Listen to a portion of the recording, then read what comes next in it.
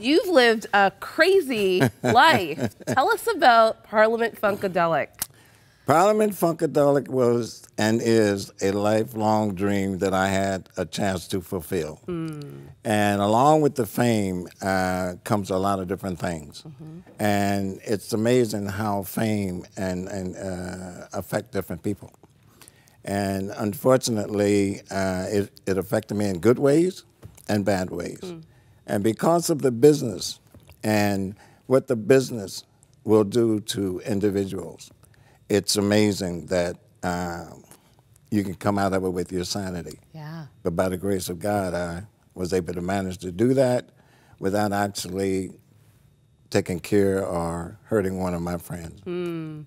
Tell me about that lifestyle. I mean, you guys were in the top of Billboard charts, you know, living a glamorous life. Um, yeah, tell us about that life. Well, you know, when you when you're number one in the world, there's a lot of things that come along with that. But when you can look at the audience and you travel from city to city, it was like a traveling circus. I mean, we had like four buses, uh, four tractor trailer trucks. Uh, we had a Winnebago with our own uh, chef and everything, and you just lived a good life. You get spoiled, mm. and but you also have to keep your feet on the ground. Mm -hmm. You know, because you gotta once the lights go out, the bodyguards are gone, the limousines are gone. You got to deal with this. Yeah with the man. And I like dealing with the man because in the morning, when now, when I wake up, I can look in the mirror and say, I like that yeah. That's a great feeling. There was a time, as I alluded to, where you had, you were so upset at a, me a, another member of the of the group. Yeah.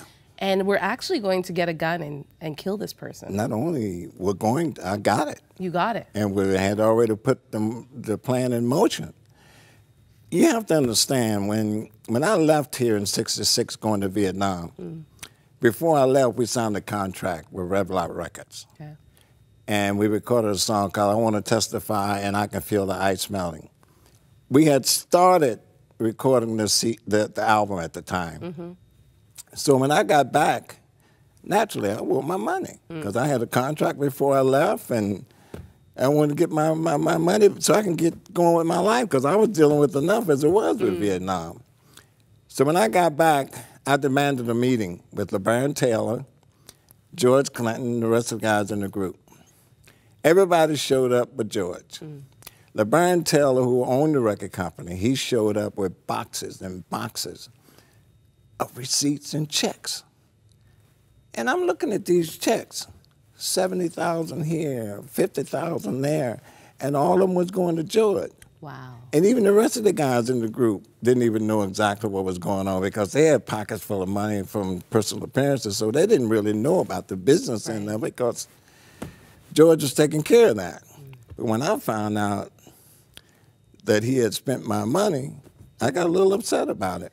Yeah. And uh, it was a very difficult situation for me to handle. Mm. But it all it's all in the power of forgiveness. Mm. And that weight was lifted from me.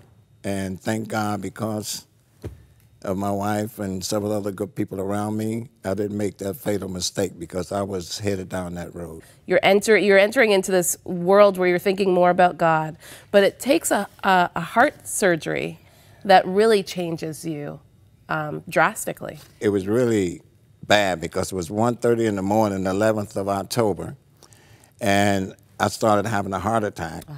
And my wife was in Israel at the time. So I prayed to God and I said, Father, I gotta, I gotta go to the hospital. Mm. And I said, If I and they said, you better go now. That's what I'm hearing. And I, then I realized, like I said, well, if that's the case, I got to, you got to help me get dressed. Mm. I drove myself to the hospital while I was while having you were having a heart attack. attack. Wow and they said uh, it's like an elephant being stepping on your yeah. chest. It's true. But I knew I couldn't wait 45 minutes for EMS to get there because of my training in Vietnam and my knowledge of having a heart attack. I knew the best thing for me to do was to get to the hospital immediately. Although I wouldn't recommend anyone else to no. do it. I mean, you're not supposed to.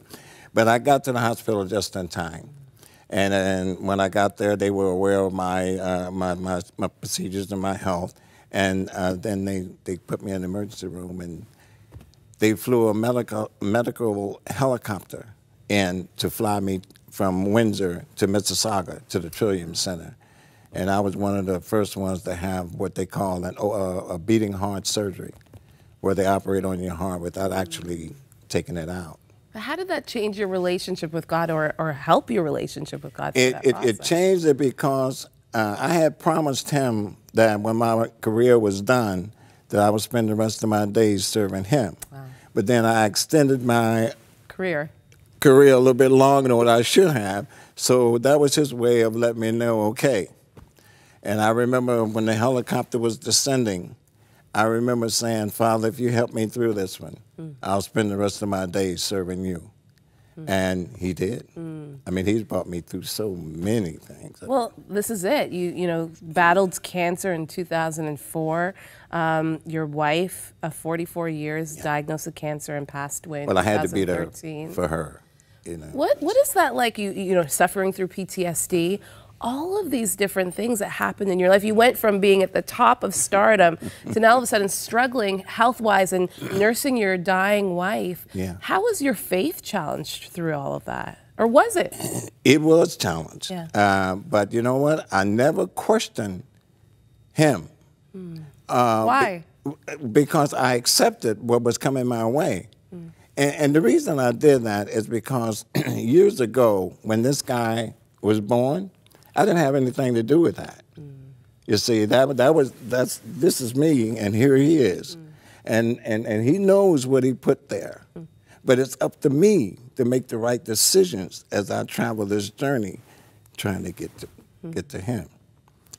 Big decision, and that's what's so pleasing to me today, is I know who I am, I know who he is, and I understand the relationship that we have. Mm. And I can guarantee you there is not a more comfortable feeling that any man walking this earth can have than what I have right wow. now. And there's not a drug that can do it. Whiskey won't do it. Money won't do it. Women won't do it.